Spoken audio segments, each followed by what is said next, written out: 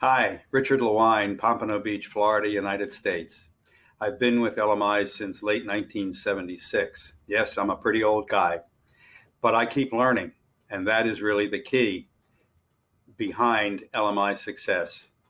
We provide the tools, the opportunity, the system, the methods that work in helping people become more of what they can become, tapping their untapped potential so that they can achieve more of what they want, what they want to become, and we do the same for our clients year after year.